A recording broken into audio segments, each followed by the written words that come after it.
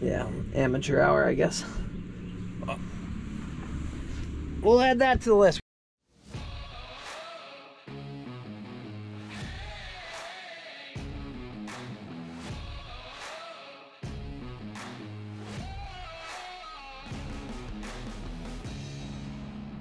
You are now watching Farming with Duffy Ag. Welcome back to the channel. Another gorgeous fall day. So, I was gonna say let's dive in and uh, start diagnosing this. Probably gonna have to split it, but we gotta take the blade off. But what we gotta do first, because we may go back and cut some grass. Um, we'll, we're gonna be short on it um, because of how poorly uh, planned our breakdowns were this summer. The mower breakdowns. That put us weeks late. So, the rake has all sorts of arms that had had issues. Um, we did get all new tines for it. We do have to figure out how many pieces we need. So, how many inserts and things like that. And how many arms, and then I'm gonna order them up, and I don't think we'll have them in time. But that, that and figuring out what my father hit with the mower are the priorities. So, appreciate you guys watching along. Let's dive into today and see what we got. So yeah, like that hole. So one, two, three, four. Ugh.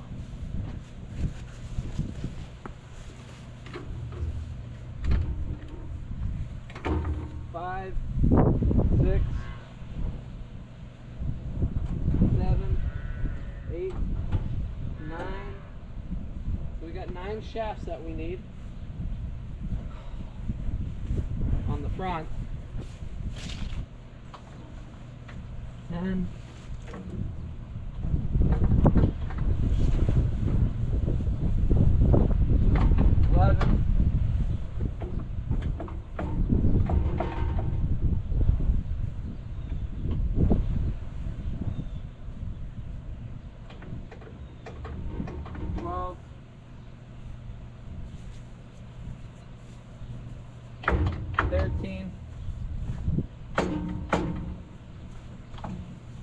14. 14 shafts. That might be 15. 15 shafts. And some of the, most of the arms that came off, they bent when they came off. So 15 shafts.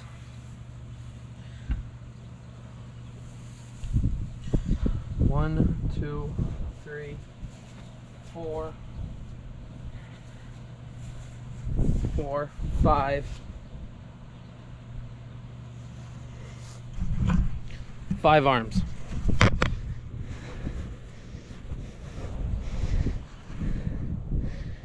Yeah. Some of them are those split arms. We never take them off. So 15 shafts, five arms. We'll have to see exactly what we need. Alrighty, let's go jump on the computer. Well, actually, I'm not done seating. I did call. What? What are you out here doing? Everybody says you want to see some calves op action. Inko's over here hanging out with them. He was eating something. What? What were you eating? You were gonna roll around, weren't you? Or did you just want a belly rub? So, there's some calves options. So I'm gonna stop tomorrow. We're gonna put some rye in and see what, how it compares side by side because we're gonna seed. So I'm gonna get uh, 200 pounds of rye. We're gonna put it in the spots that I missed. Coming? So I really like Kuhn's website. Uh, let me see if I can go back. For those of you who are not using anything Kuhn, I like their website. This past year has been absolutely horrible for service uh, as a company. They've been using the COVID excuse quite a bit, and I can understand some of it. But so the whole thing, so front rotor. Here's a whole breakdown of everything. So this is a shaft. Let me zoom in. This is the shaft that we have issues. We have some bad ones. You got your seal at the end. You got the snap ring. At the other end of it, you got a washer, and then you got the arm that actually rotates on it. I don't know why this is so. There we go. The arm that rotates, and it has the follower that goes in like the roller coaster inside. So you got four cotter pins all together, one roller, a washer. So I got all that. 15 of that. Um, outside washers, they come in packages of 10, so you gotta order two of them. And then I went down here and, well, where else did I do? No, that's the inside rollers, the followers, um, arm roll pins. So over here I got tine arms, and then we got removable arms. So this is the full length piece. So I got roll pins, 30 of those. Uh, the arms, I gotta go count what I need for which. And then I got tine arms removable. Um, yeah. So then I just need the half of that, and the roll pins are the same, of course. So there's there's a right and a left arm. No, I don't know why it says arm. And that's the only thing that com- that says Kuhn red, the color. Which I always thought Kuhn was orange, but I guess not. Then the wheels, um, I got both bearings. I got eight of each, so number six and number seven. Whoa! And then I needed that pin. So on the front, uh, was it wheel column? What did I look up? Yep, wheel column. So number uh, 37, which is a pin. And there's a 38, 30, what's 38? Oh, it's up there. So I got my list together. The only things I got to figure out is how many removable and how many full arms I need. And then I went out to the mower and I got to pick it up and we're really going to verify. But I'll go back into this. So if I go to home, I should have this internet slow here. So we got. Oh, we don't have the new mower in it. So we gotta go get the new mower. Our old mower took, even though it's an FC303 GL, you look it up as an FC303 GC because an FC303 GL, let me show you, is not actually the right mower, which is it's it's wild. So the thing I look at, ours doesn't have the panel like that. So number thirty, I forget now. Um. No. Well, let me look it up. 90. So, ours does not have this style housing with that shaft and that round top, things like that. They have it as a different style, where if I go back and I click on the GC, and this is what drove us crazy the first time we ever had to get parts for it. Spare parts. Open online. Then I go back to 90. This is our style that's in there. Um, oh, no, I clicked on the wrong one again. Like, we don't have that shaft.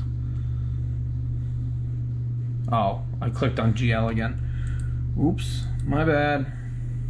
I was gonna say FCGC spare parts online. And this is being a parts guy. I give them hats off. Like the good ones are really good.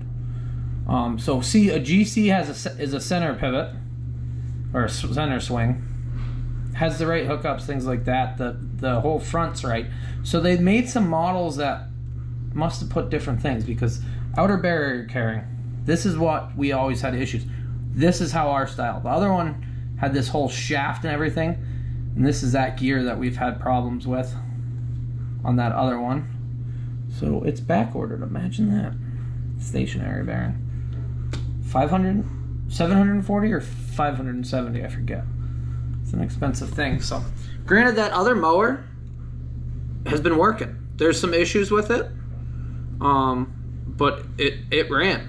So, but uh, alrighty, I gotta go out get the part number or the serial number for that other mower because well, we haven't bought any parts for it. But I think my father hit something pretty hard.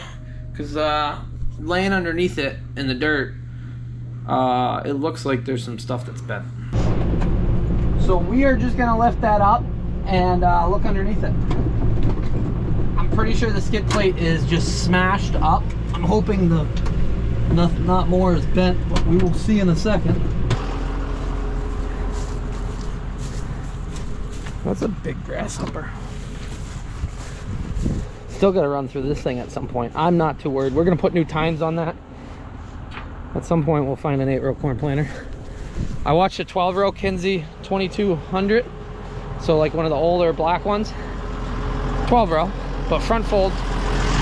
Um, sold for $4,800 the other day. Yeah.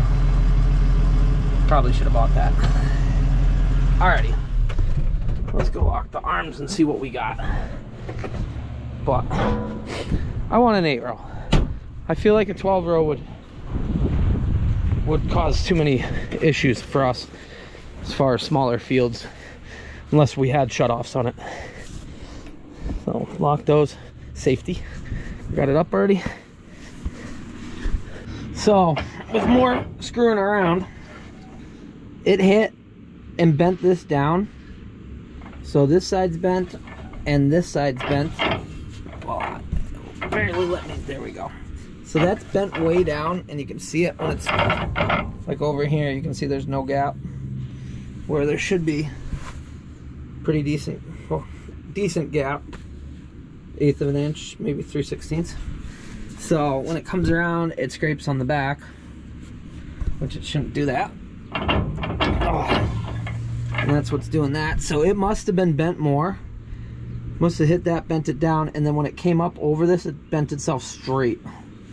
So, skid plate has some messed up on top structurally and what it's actually meant to do. It's okay there. Um, it looks looks okay across. You know what? Maybe it doesn't look okay. Definitely bumps up right there. So, new skid plate, a new top cover here, uh, and then we'll be back at it. So, yeah, somebody was mowing and wasn't paying attention and smoked a big rock. Yeah, amateur hour, I guess we'll add that to the list. We got to go put this this in the computer so we know um, serial number I think is on the other side right here. Is it? Nope. Okay, where's the serial number on this? What are you doing? Thought it was up there. Here it is.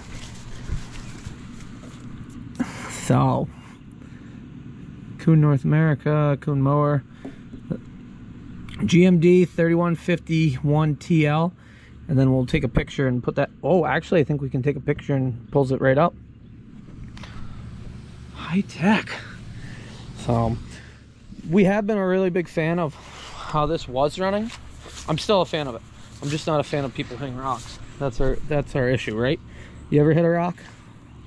We've all hit rocks but usually not in short grass and a big like a rock the size of a I don't know that tire maybe big two of those tires. So it's clearly there. Um no conditioners. I truly think that's the way to go. Even if you're doing dry hay I think it dries way quicker I think it does a better job having it all laid out if you had if you could do conditioners and have it still lay all the way out that I, I'd be a fan of that well, alrighty let's see see if it does it. Oh, it was gonna do it. Hold on.